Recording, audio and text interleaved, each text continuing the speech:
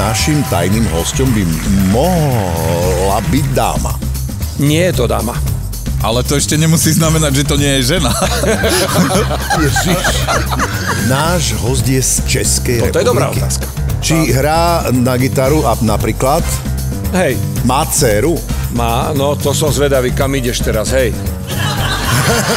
Inkognito. Vo štvrtok o 20.35 na Jojke.